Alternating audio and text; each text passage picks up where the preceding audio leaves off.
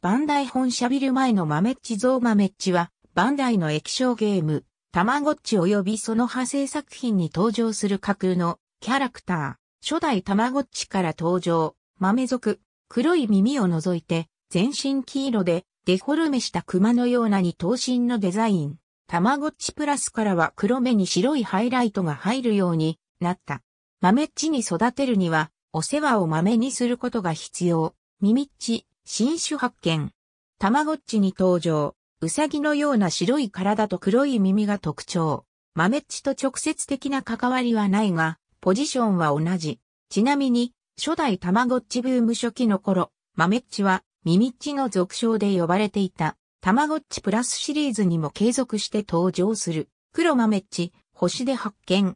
たまごっちに登場。豆っちに黒色の全身タイツを着せたような姿。IQ400 の超天才だが、不真面目で礼儀知らずな、豆っちとは、正反対な性格。ちょ豆っち、たまごっちをすっちに登場。豆っちの耳を長くしたような姿。哲学的な性格。ちょ姫っち、たまごっちメスっちに登場。ちょ豆っちとは、カップルのポジションにある。デビル豆っち、デビルっちのたまごっちに登場。デビル界の豆っち、まぶたが半開きで、背中にコウモリのような羽が生えている。嘘つき、いい加減、無責任、腹黒い、豆っち、優しいたまごっちに登場。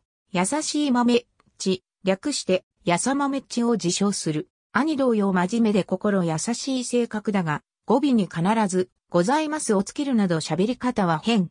ゲームのドット絵は、豆っちと同じだが、イラスト上は、豆っちより小柄で色薄に描かれる。ヤング豆土、宿系大会2。たまごっちプラスに登場。豆っちに憧れている。パパ豆っち豆土の父親。科学者。ママメ土豆土の母親。豆っちの友達と間違えられやすい。裏豆っち。裏人生エンジョイたまごっちプラスに登場。プラス版の豆っちに、尾が生えた姿で、お笑い好きな性格。裏ヤング豆土。裏人生エンジョイたまごっちプラスに登場。裏豆っちを敵対している。黒豆っち、たまごっちスクール生徒全員集ごっち。に登場。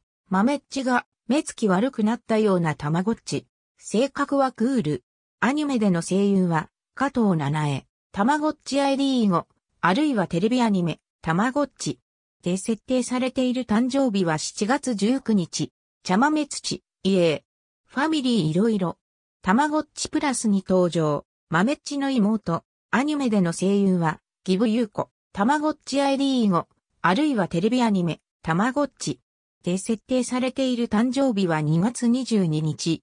豆豆っちテレビアニメ、たまごっち。に登場。豆っちの先祖。アニメでの声優は、斎藤千和。ありがとうございます。